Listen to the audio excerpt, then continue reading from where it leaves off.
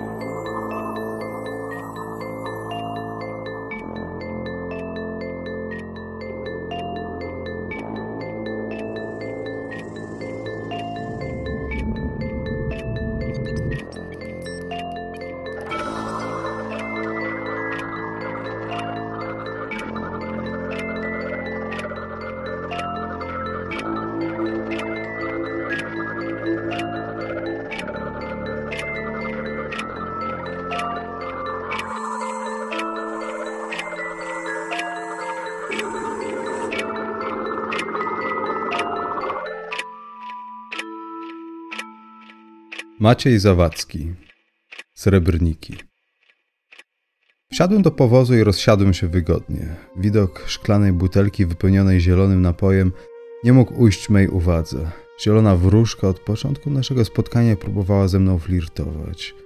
Ja, jak przystało na dobrze wychowanego młodzieńca, nie mogłem pozostać obojętny wobec tych wyraźnych zalotów. Kiedy pierwsze krople wznieciły moje nieokiełznane pożądanie, poczułem przyjemne ciepło wypełniające duszę i ciało. Nie minął jeszcze kwadrans, a zamknięty w jej objęciach patrzyłem na świat z innej perspektywy. Wydawał się teraz jakby weselszy. Za oknem panował mrok, który swym płaszczem okrył już wszystko, nie oszczędzając nawet delikatnego blasku księżyca, który na próżno próbował wyrwać się ze szponów czarnych jeźdźców. Usłyszałem, jak Stangret potraktował konie biczem, nie mając przy tym litości. Biedne zwierzęta posłusznie przebierały kopytami coraz szybciej. Wszystko rozpoczęło się, kiedy w południe otrzymałem list zawierający tragiczną informację o śmierci mego ojca. Uroniłem kilka żałobnych łez, jednak nie mogę z czystym sumieniem stwierdzić, aby przepełniał mnie straszliwy ból. Może mieszkając samotnie od kilku lat zatraciłem już wszelkie ludzkie odruchy, a może Moja więź z ojcem nie była na tyle silna, bym czuwał teraz jego brak. Prawdopodobnie nigdy nie doszłoby do tej podróży, gdyby nie mały, aczkolwiek charakterystyczny podpis, który zdobił kartkę papieru. Należał on do mojej matki, kobiety o anielskim uśmiechu, którego nie straciła pomimo licznych cierpień mogących niejednego człowieka zaprowadzić do ciemnych lochów ludzkiej egzystencji. Jako syn postanowiłem spełnić swój obowiązek wobec niej i podczas uroczystości pogrzebowych być jej oparciem w sensie psychicznym, jak i fizycznym. Aby to uczynić, musiałem wpierw dotrzeć do Bordeaux, gdzie mój ojciec, a raczej jego ciało, miał udać się w swą ostatnią podróż.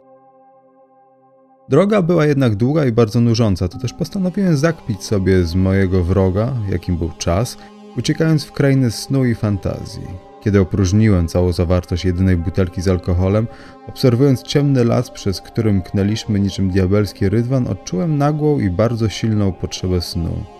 Jako, że wypiwszy cały dostępny trunek, wyczerpałem limit uciech przewidzianych na czas podróży, po krótkiej narazie, jaką przeprowadziłem sam ze sobą, uznałem, że jest to propozycja nie najgorsza, zważywszy na brak innych. Sen przyjemny, chociaż krótki, został w brutalny sposób przerwany. Nie wiedziałem jak i dlaczego, ale nagle znalazłem się w dość niezręcznej sytuacji.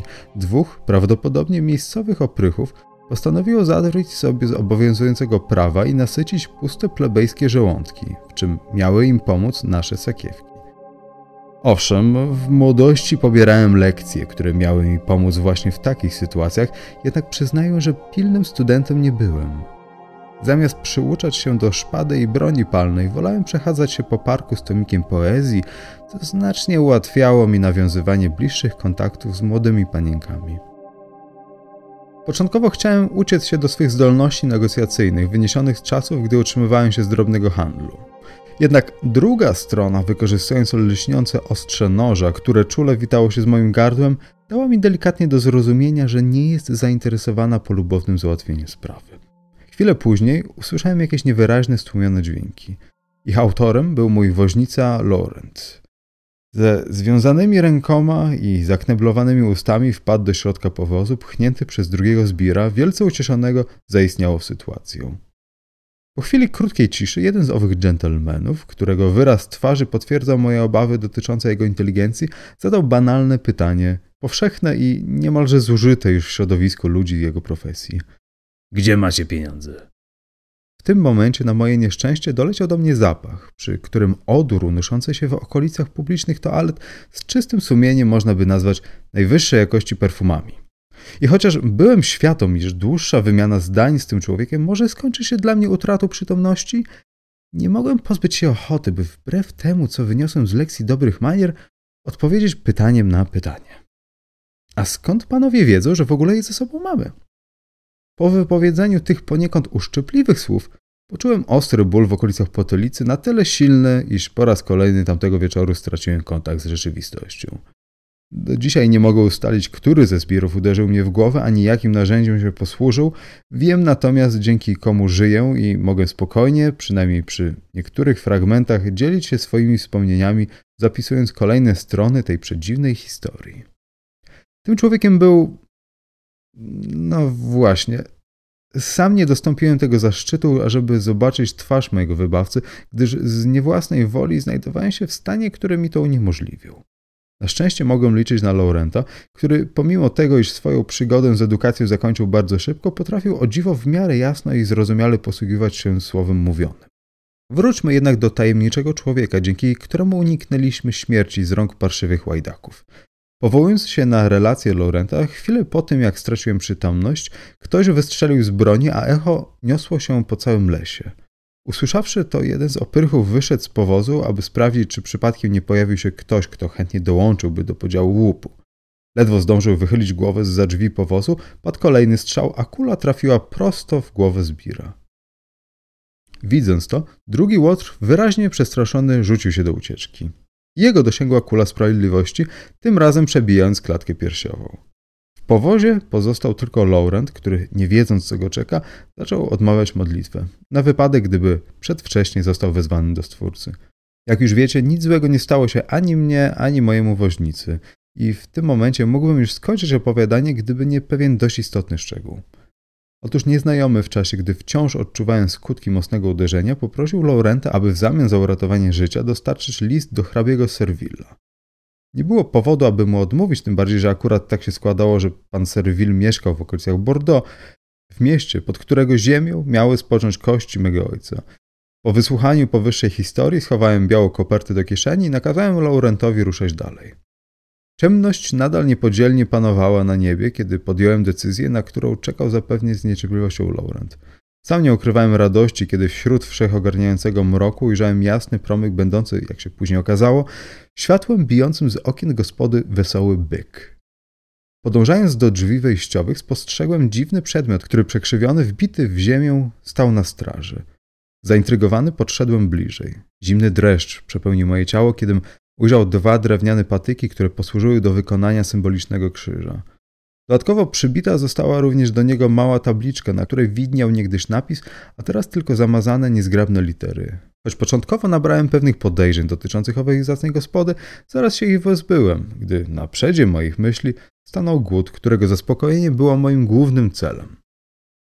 Gospodarz udzielił nam schronienia przed wszelkimi niebezpieczeństwami, które wyszły ze swych nor pod osłoną nocy, a za skromną opłatą przyrządził iście królewski posiłek, choć do dziś się zastanawiam, czy jego wyborny smak był zasługą kucharza, czy może najlepszej przyprawy, jaką ludzkość zna głodu. W czasie wieczerzy uciąłem z owym mężczyzną luźną pogawędkę na tematy wszelakie. Opowiedziałem o celu naszej podróży, a na wydarzenia wcześniejsze spuściłem zasłonę milczenia. I choć mój rozmówca wydawał się człowiekiem radosnym, to jednak uważny obserwator, a za takiego wówczas się uważałem, mógł dostrzec w jego oczach, będących niczym odzwierciedlenie duszy, wyraźny smutek, który domagał się uwolnienia, przyduszony pod maską uśmiechu. To też, choć chciałem zapytać się stojący przy drodze krzyż, ugryzłem się w język i udałem się na spoczynek, by odbudować siły przed porannym wyjazdem.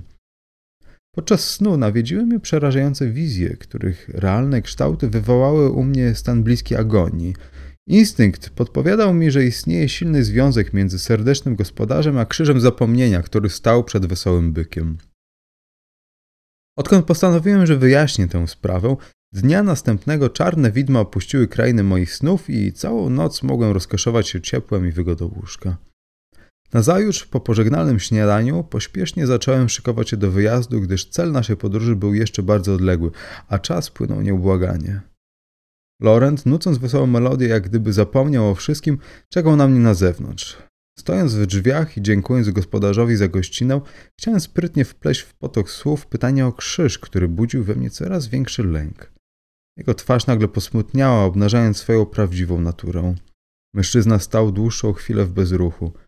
Po chwili jednak zaczął uśmiechać się nerwowo i wskazał drżącą ręką na dwa krzesła lśniące na tle rozpalonego kominka. Wciąż panowała niezręczna cisza, którą raz po raz zakłócał trzask palącego się drewna. Wreszcie gospodarz wybudził się ze swojego dziwnego stanu i, zająwszy wygodnie miejsce, rzekł. Przyznam, że w duchu modliłem się, aby nie pytał pan o ten krzyż, chociaż płonne były to nadzieje, gdyż wyróżnia się on na tle mojej gospody i trudno, aby przejść koło niego obojętnie. Widok to powszechny na cmentarnej ścieżce, lecz nie tu. Był ponury listopadowy wieczór. Rozszalała wichura wraz z obfitym deszczem sprawiły, że gospoda wypełniła się po brzegi. Ciepło, śpiewy i głośne rozmowy kontrastowały z ponurym widokiem, który można było zaobserwować za oknem. Wraz z pierwszymi błyskawicami pojawił się u nas ten nieszczęśnik. Nazywał się Piotr Biwa. Wesoły był to człowiek, rzekłbym. Nazbyt wesoły jak na te mroczne czasy. Lubił wypić i przy tym miał wiele ciekawych historii do opowiedzenia. To też nie zdziwiłem się, gdy w dość krótkim czasie zgromadził wokół siebie liczną gromadę amatorów opowiadań i miodów pitnych. Mimo, że roboty miałem za trzech, zdążyłem usłyszeć, iż był on posłańcem pewnego możnego hrabiego, który powierzył mu bardzo ważne, a przy tym niebezpieczne zadanie. Jak się okazało, jego pan, dysponując ogromnym majątkiem, rozmiłowany był w kolekcjonowaniu wszelakich drogocennych przedmiotów. Tym razem, po przestudiowaniu jakichś średniowiecznych zwojów, postanowił wejść w posiadanie rzekomych srebrników, które Judasz Iskariota otrzymał za zdradę Jezusa Chrystusa. Korzystając z kolejnych ksiąg, znalazł on informację, że do naszych czasów uchowały się tylko trzy takie monety, a nazwiska ich posiadaczy są zagadką i wielką tajemnicą. Odgrzebując stare znajomości i otwierając nader często drzwi do swojego skarbca, hrabia pokonał i tę barierę. Przeszło rok czasu zajęło obywalowi odnalezienie owych ludzi. Nie byli oni chętni, by pozbywać się swoich srebrników, jednak zaślepieni złotem, które bywal wysypywał u progów ich domów, Zmienili natychmiastowo zdanie. Nasz nieszczęśnik po wykonaniu zadania wracał pospiesznie do swojego pana. Będąc blisko celu, zatrzymany przez siły natury, wstąpił do naszej gospody. Nazajutrz, tak jak prosił mnie bywal, przyszedłem do jego pokoju wczesnym rankiem, by zbudzić go ze snu i podać gorący posiłek. Zapukałem do drzwi, jednak w odpowiedzi usłyszałem głuchą, niepokojącą ciszę. Kiedy spostrzegłem, że drzwi są uchylone, postanowiłem je otworzyć. Obraz, który ujrzałem do końca życia, będzie mnie prześladować jak cień. Z łóżka przesiąkniętego krwią zwisała ludzka ręka. Kiedy pokonawszy strach, podszedłem bliżej i ujrzałem martwą twarz Bywala, z której wraz z życiem zniknął charakterystyczny uśmiech. Policja prowadząca śledztwo ustaliła, iż było to morderstwo na tle rabunkowym, czego dowodem miała być pusta i rozszarpana sakiewka znaleziona przy nieboszczyku. Sprawców nie znaleziono, przynajmniej żywych. Jakiś czas później odbył się pogrzeb bywala na pobliskim cmentarzu. Uroczystość odprawiono w obecności mojej, kilku mieszkańców oraz miejscowego proboszcza księdza Piru. Trzy dni po pogrzebie doszło do kolejnego morderstwa.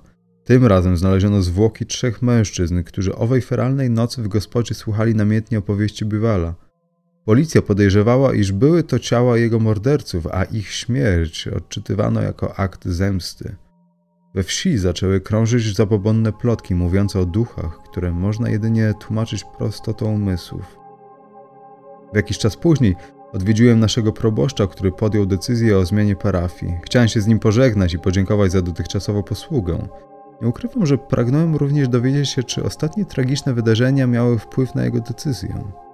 Duchowny wzbraniał się bardzo, by wyjawić mi prawdę, tłumacząc się decyzjami wyżej hierarchii kościelnej.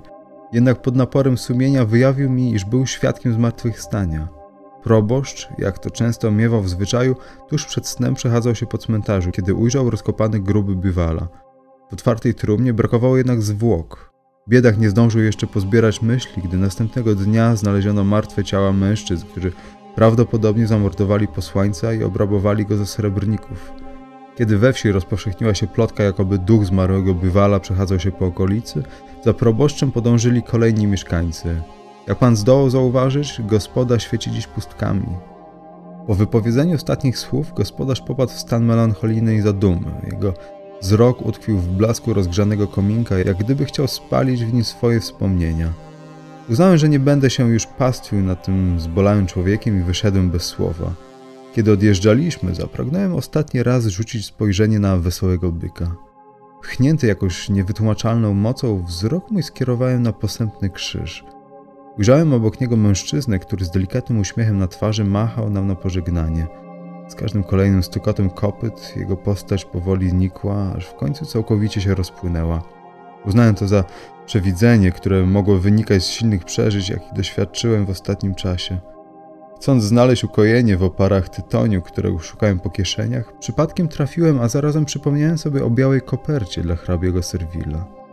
Wyjąłem ją na tyle niezgrabnie, iż cała jej zawartość wypadła na podłogę i nim zdążyłem się schylić, przeszył mnie dreszcz, gdy do mych uszu dotarł dźwięk monet.